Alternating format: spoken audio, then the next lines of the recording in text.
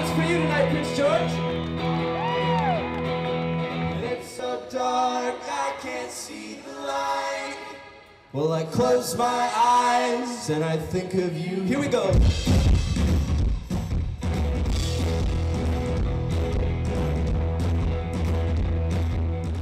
The second week of the Cold Snap Festival in Prince George kicked off with a performance by Juno Award winning Said the Whale, an indie rock band from Vancouver.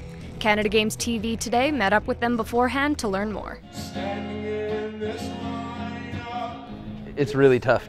That's an impossible question almost because if each song is about something I care about, you know, I can't pick one thing that I care most about. I have songs about different people I love or different places I love or things. So I go through uh, little moments where I am playing a song and it means the most to me at that time. But they're all they're all pretty important to me. For me, it's definitely a song called "Helpless Son." It's, I wrote it for my mom, and it's on it's on our album Hawaii. We have a friend named Camilo who is a magician, just like in the song. um, so it's pretty much just a real life account of this little Colombian dude coming to our house parties uh, and wowing everybody with his insane magic tricks.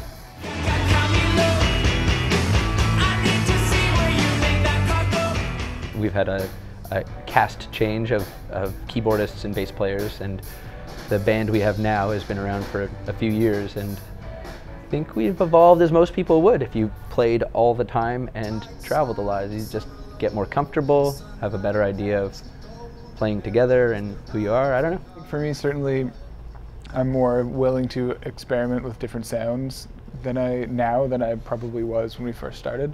You know, everyone in our band has a very wide uh, taste in music and uh, is generally excited to experiment with different sonics and stuff like that.